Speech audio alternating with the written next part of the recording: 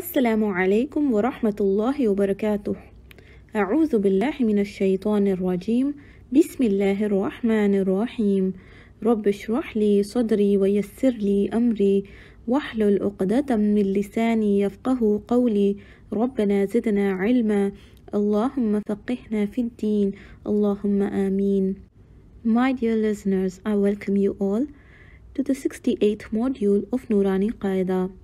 Inshallah, today we will be looking into the exercises where you will be dealing with words that have the letters with fatha, kasra, dhamma and fathatan, kasratan and dhammatan.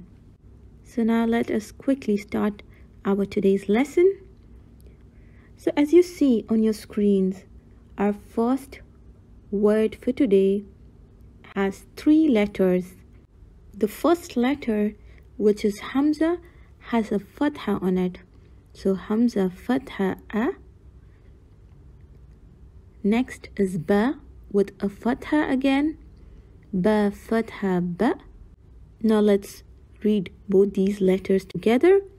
Aba and then we have dal with a fathatan which is dal fathatan dan abadan also one thing that is to be noted here is the letter alif after the dal fathatan so this letter alif is a silent letter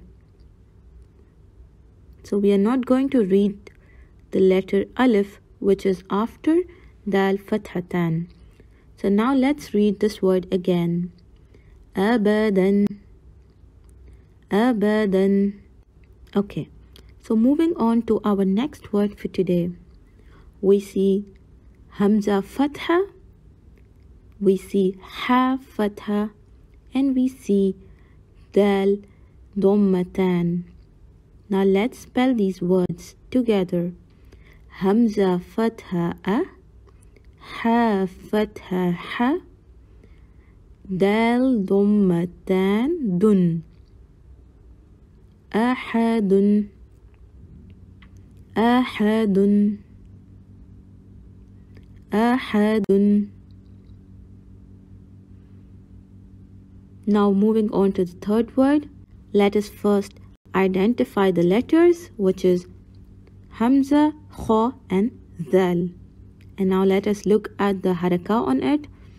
Hamza has a fatha, which is Hamza fatha a, kha fatha kha, akha, zal fatha dha, akhadha, akhadha.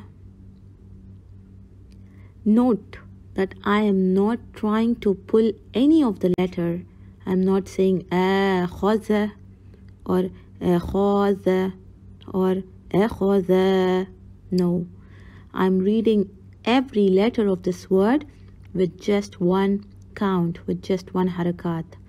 So it is أخذ أخذ Alhamdulillah, with this we come to the end of our today's lesson. سبحانك اللهم وبحمدك نشهد أن لا إله إلا أنت نستغفرك ونتوب إليك والسلام عليكم ورحمة الله وبركاته